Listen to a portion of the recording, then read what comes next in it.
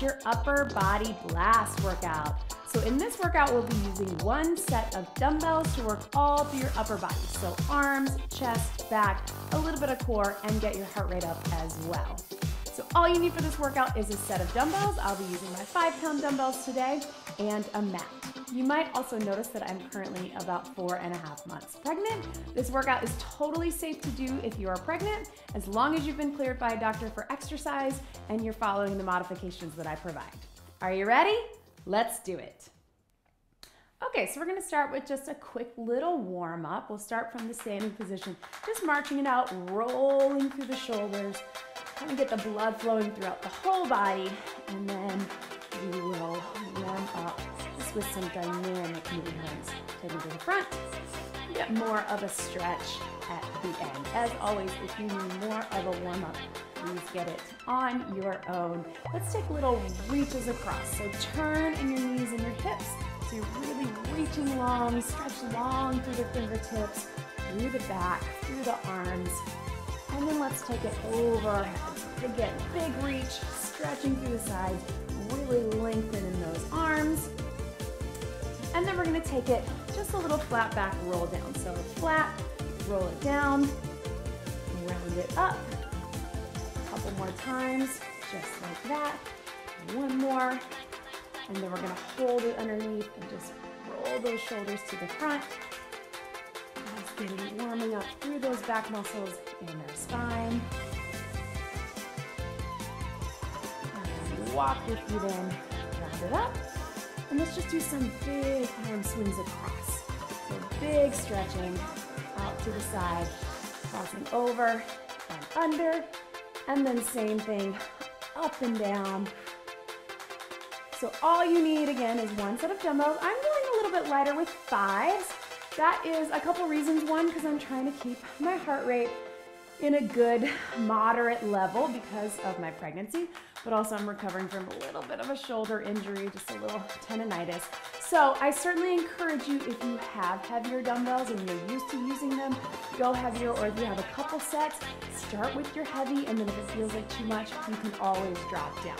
Remember, ladies, if there are women doing this, that you don't get big bulky muscles from lifting heavy weights. It's very hard for us to do. So please go heavier if you can, really challenge yourself. That's how we really get that lean definition, those tight toned arms that we want. Okay, so we're gonna start. Go ahead and grab your dumbbells, bend your knees to get them. And we're gonna start with just a basic bicep curl. So we're gonna start with an exercise, and then we'll go on to the next one, and then the next one. Then we'll take a quick little break where we just tap it out, keep moving to keep our heart pumping, and then we're gonna put them all together. So we'll have a few different sets like this where we build and then work up to three. So starting here, just very basic biceps, arms by your side, curl it up, take it down. And I know it gets a little boring with biceps because there aren't that many exercises, different variations of the curls, chin-ups and pull-ups, but not as, not as many variations as there are for some other exercises, but still a very functional exercise that we need. Thinking about this a lot with pregnancy because I know from holding my two-year-old and holding a baby that we really need those muscles we do a lot and that muscle endurance. Let's go one more right here. And then we're gonna take it from here out and in elbows in. So if it starts to feel like too much, like this is aggravating my tendonitis a little bit, you can always go one at a time. This goes for all of our moves. You can go one at a time, or you can drop it a little lighter if you need to. Keep breathing, out and in. Two more. Okay, so then from here, take it up, squeeze those elbows in. Up, squeeze those elbows in. Notice my posture. I'm keeping the shoulder blades pulled back. I'm keeping my knees a little bit soft. Going out, squeeze in. Imagine that you're pulling in, pulling those shoulder blades in. So it's a press up, squeezing. You should be feeling that by now, all through those arms. Now we're adding the back. One more right here. Ooh, yep, tap it out. So let the arms come down by the side, roll through the shoulders, and get a little 20 seconds of just step touching. So you decide if you want a little extra cardio, you can make a little hop step, totally up to you, or just keep it here. Your heart is probably pumping from lifting the weights. Anyway, that's what we love about weight training. It can be cardiovascular as well. All right, team, let's put them all together. So we're going up, we're going out, we're going up and out, squeeze in, in, and down. Up, out, up and out. Right? Lots of different parts. Really take your time. Think about them all, all the way through. Curl, squeeze out, press up and out, squeeze in, in, and down.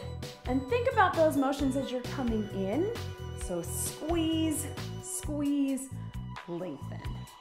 Contract, out, press. Excellent job, team. Bring them up. Yes. Good. Let's get one more after this, and then we will drop those dumbbells set them down lightly. Yes, so set them out, out of your way. Reach those thumbs to the back. Big stretch while you go back to that step touch. So just so we get a little break from holding the dumbbells and we give our upper body a little break since this whole workout is upper body, we'll take a few little cardio intervals. So again, you can just keep it here for that step touch, or if you want, take it to that little hop, side to side. We're gonna go about 30 more seconds. Again, if you need more of a break, you keep it low impact, just little steps. If you want, take it to that little jump side to side. 15 seconds to go. Keep breathing. Go. And then we're gonna pick those dumbbells back up and we'll have another set of three. Three moves we do separately and then we put them all together. Okay, so tap it out. Go ahead and grab those dumbbells, bend your knees to get them. The first one's gonna be a bent over row. So you probably know this.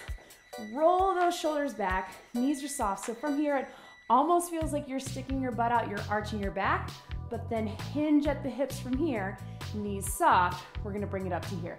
Here's what we don't, is rounding in the back. We don't want rounding in the back or straight legs. So really squeeze from here, take it down, eyes up, dumbbells out in front, pull up and squeeze. Elbows come right, squeezing in those shoulder blades. Abs are pulled in tight, so focus on that curl core. Knees are soft. Breathe and pull those elbows in, pull those shoulder blades together. So you're really keeping it low. If we're too high with this, we're gonna end up using our biceps, which we just worked. They're tired. So keep it low right here. Breathe. Five seconds. And then we're gonna hold them at the top here. So we're gonna do kickbacks for triceps. Extend through the elbows. So again, it's not here. We don't wanna swing them up and use biceps. We wanna push up towards the ceiling. So watch, I'm trying to get a straight line through my arms. Instead of here in front, pushing to the back, right? Know you're feeling a little tension in your lower back. It shouldn't be painful. If it's painful, take a break. But if you're feeling a little bit of work there, that's on purpose. We're supporting from here. Hold it up from here. Last one, squeeze in and out. To show you from here, squeeze and out. It's a little bit of a small range of motion. I know it's burning. We won't go very long. Squeeze. Triceps, shoulders, and back. We'll go four, three, two, and one. Woo! Roll it up. Tab it out. So just by holding that position, and that was a long hold, again, you're probably feeling all through your back working. So we contracted through that upper back, but, but just by having the support in our back and our core, we're getting everything in that trunk area of your body working. So again, step touch. Whew, this time we're gonna do heels in front. Yep, roll them through. And then we're gonna put all of that together. So it will be our row, our kickback for triceps, our squeeze in for triceps and shoulders, okay? We won't go super long. We're just gonna make it all burn through the back of the muscles. So our first set was more front loaded, bicep, shoulders. Second is more back and tries, everything on the back. Okay, so turn it to the side. Roll those shoulders back. Soft bend in the knees, eyes up. Take it here, here we go. Row, kick back, squeeze in, out, out, and down. Up, back, squeeze in, out, bend, and down. There we go. Lots of different parts, so think about them all, all the way through. And again, if it feels like too much, take it one at a time. Up, back, squeeze, in and down, up, back, push to the center. You might throw your balance a little bit. Up, push, squeeze, breathe. We got about 15 seconds. I know we're feeling it. Squeeze in the back muscles, push in the tries, squeeze in and out, shoulders and triceps. Almost there. Breathe. Last one. And relax. Roll it all the way up. Set your dumbbells to the side. Whoo! Shake those out. Cross them in front. Heels in front. Breathe. And again, you can take it here. You want a little more of a jump to give you a little extra cardio, that's fine. You can also use this time to get a quick sip of water. If you need it, I'm gonna use it. Up to you. Oh, you know, I would always encourage more water, right? Breathe. So we got about 20 seconds of this, low impact or high. One more standing combo, one combo on the mat, and that's all we're gonna do. Really tighten, strengthen, tone, sculpt all of that upper body. Okay, so go ahead and bend your knees one last time. Grab your dumbbells. We're gonna start in the center, just with a little press. So elbows are in, I want them nice and tight. Press up and down. Breathe. Abs are pulled in. I've got one foot back just to support for balance. If you're fine standing here, that's okay too but it helps me, especially with my growing belly from pregnancy, to support my back a little. Keep breathing. Let's go one more. Hold them at the top, elbows in behind the head for tries. Looks like this. Trying to get all the way down, all the way up. And breathe. So we're down making sure that my elbows staying close to my head. They wanna go out here, that's a different exercise that we're gonna do next. Breathe. Watch your hair if you get my dumbbells are getting it. Good posture. And then let's hold it down, out with the elbows, squeeze it in. I know, a little extra burn, but you can do it. We won't do it very long. Pull that core in, out, and see how my dumbbells are still low. They're not up here doing this motion. We're dropping them low. Breathe. Four, three, two, one. Oh man, right? I'm feeling it just with fives. So I hope you guys who might be using eights, tens, twelves, fifteens, who knows? You're probably feeling it more. Let's tap behind this time. Little taps.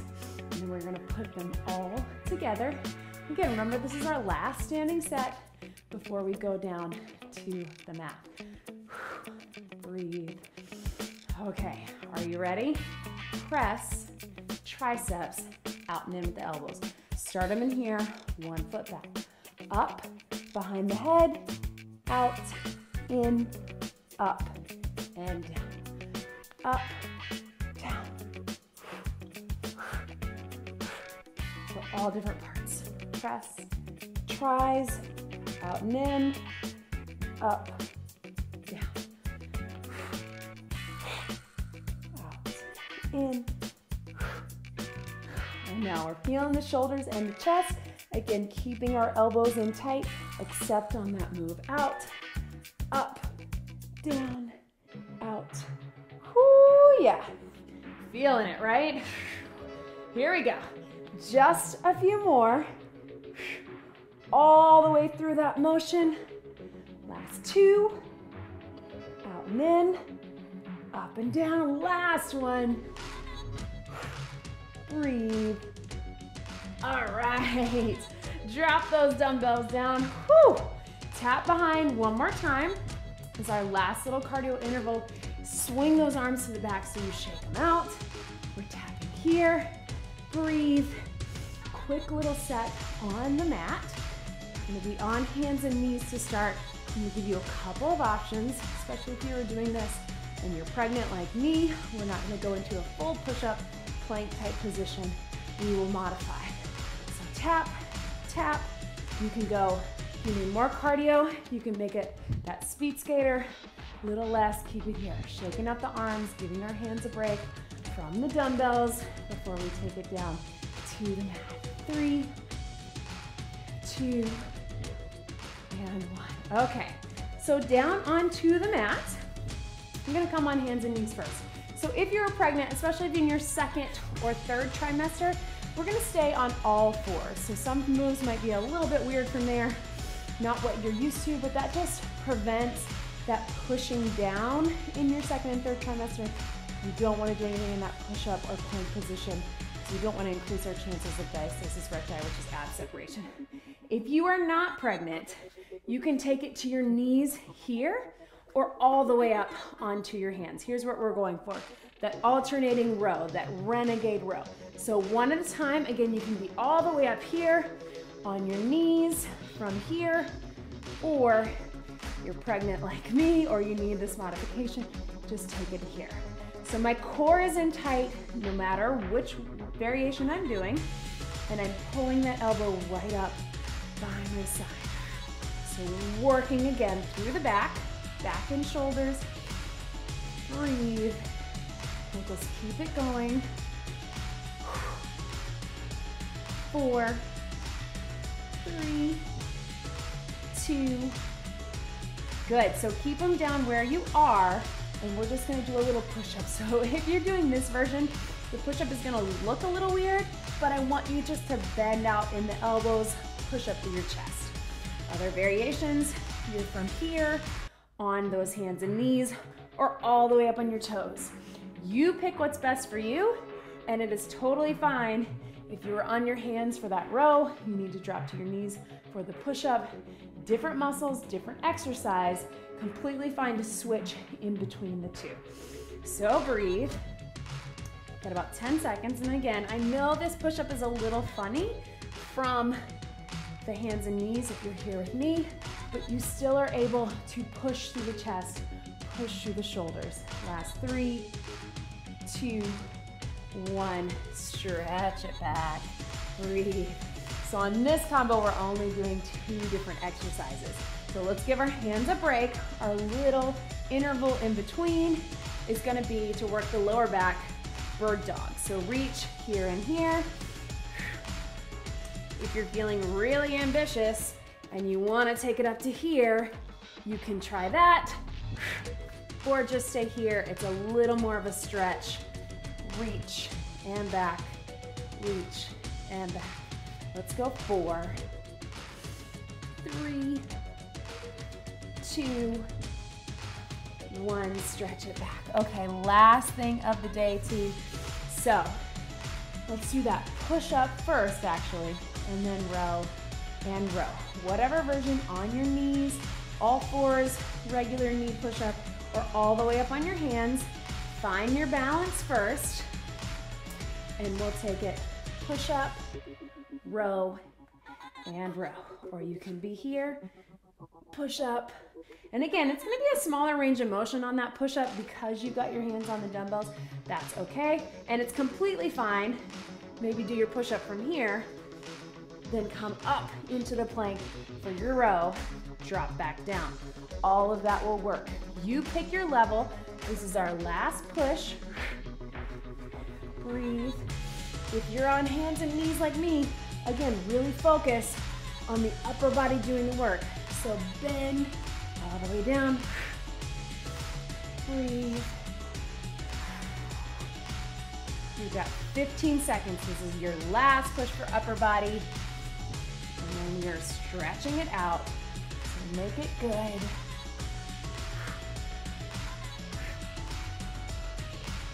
Last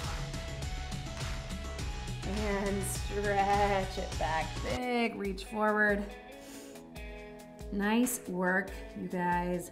This is why I have so many full body workouts on my channel, is that it is hard to isolate like this, right? Come to a seated position. It's a lot of the same set of muscles, and we got about 20 minutes of it. Take it over, roll through, which is tough to do, but good for your body when you can do it. It's fun to have some days that we work different body parts, other days that we just get cardio, some days that we get full body. Take that same arm, take it up, press it back gently. Get that elbow up as high as you can and then reach down with those fingertips.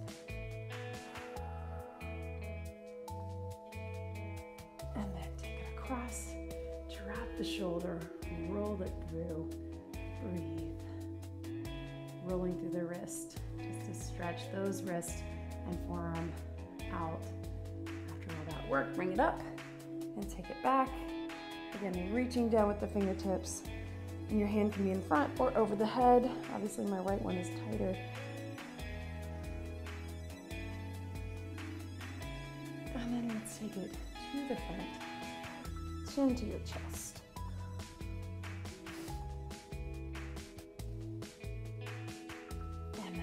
Open up, really reach back with the thumbs. You open up the chest, grab behind, lift